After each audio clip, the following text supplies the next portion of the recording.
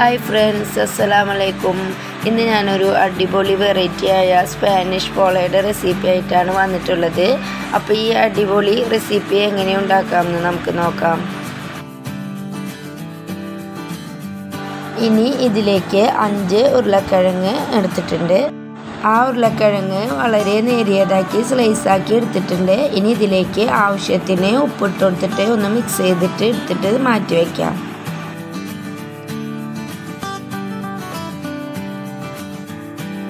ഇനി ഒരു പാനിൽ ഫ്രൈ കുറച്ച് ഓയിൽ ഒഴിച്ച് കൊടുത്തിട്ട് നമുക്കിതൊന്ന് ഫ്രൈ ചെയ്തെടുക്കാം.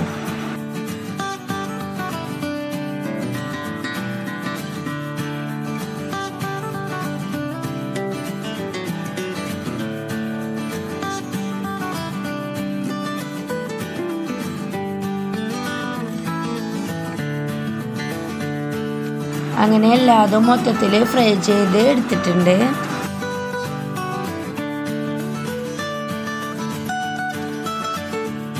ഇനി ആ പാനിൽ തന്നെ ഓയിൽ അതിലുണ്ടായി. അപ്പോൾ അതിലേക്ക് രണ്ട് സവാള ചെറുതാക്കി അരിഞ്ഞത്. അതും കൂടി ഇട്ടുകൊടുത്ത് നമുക്കിതൊന്ന് വഴറ്റിയെടുക്കാം.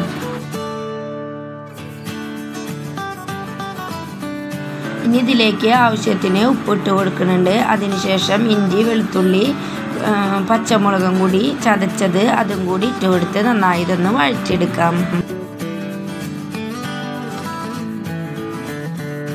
ഇനി ഇതിലേക്ക് പൊടികൾ ചേർക്കാം. കാൽ ടീസ്പൂൺ മഞ്ഞൾപ്പൊടി അര ടീസ്പൂണ് മുളക് പൊടി അര ടീസ്പൂണ് ഗരം മസാല എല്ലാം കൂടി ഇട്ട് കൊടുത്ത് ഒന്ന് മിക്സ് ചെയ്തെടുക്കാം.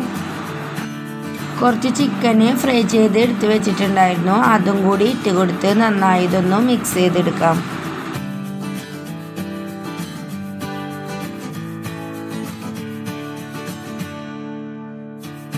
ലാസ്റ്റ് ഇതിലേക്ക് കുറച്ച് മല്ലിയില ഇട്ട് കൊടുത്ത് നന്നായി ഇതൊന്ന് മിക്സ് ചെയ്തിട്ട് നമുക്കിതൊന്ന് മാറ്റി വയ്ക്കാം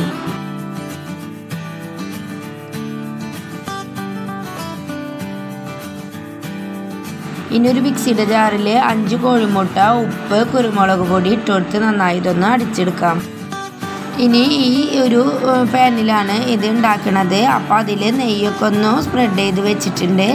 ഇനി അതിനായിട്ട് കുറച്ച് ഉരുളക്കിഴങ്ങ് മാറ്റി വെച്ചിട്ടുണ്ടായിരുന്നു. പിന്നെ മുട്ടയുടെ മിക്സ് ചിക്കന്റെ മിക്സും പിന്നെ എടുത്തു വെച്ചിട്ടുണ്ട്. ഇനി ഈ സോസ് പാനിലേക്ക് ആവശ്യത്തിന് മുട്ടയുടെ മിക്സ് ഒഴിച്ചു കൊടുത്തിട്ട് അതിന്റെ ഒന്ന് ചുറ്റിച്ചെടുക്കാം. അതിന് ശേഷം ഈ ഉരുളക്കിഴങ്ങും കൂടി മുകളിൽ വെച്ച് കൊടുത്തിട്ട് ഈ ചിക്കന്റെ മിക്സും കൂടി വെച്ച് കൊടുക്കാം അതിന്റെ മുകളിലായിട്ട് വീണ്ടും ഉരുളക്കിഴങ്ങിന്റെ വെച്ച് കൊടുത്തിട്ട് ഈ മുട്ടയുടെ മിക്സ് ബാക്കിയുള്ളത് ഫുള്ളും ഒന്ന് കവർ ചെയ്തെടുക്കാം.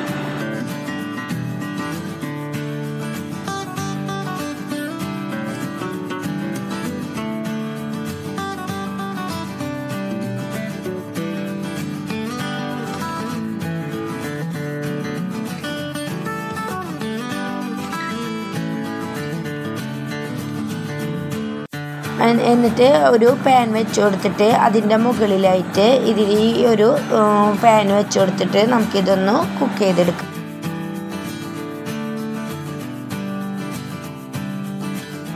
ഇനി ഇത് ഒരു ഭാഗം ആയി വന്നിട്ടുണ്ട്. ഇനി ഇത് വേറൊരു പാൻ വെച്ച് കൊടുത്തിട്ട് അതിലൊന്ന് ഓയിലൊക്കെ ഒന്ന് സ്പ്രെഡ് ചെയ്തിട്ട് മറിച്ചിട്ട് കൊടുത്തിട്ട് ആ ഭാഗം കൂടി ഒരു അഞ്ച് മിനിറ്റ് ഒന്ന് കുക്ക് ചെയ്തെടുക്കാം.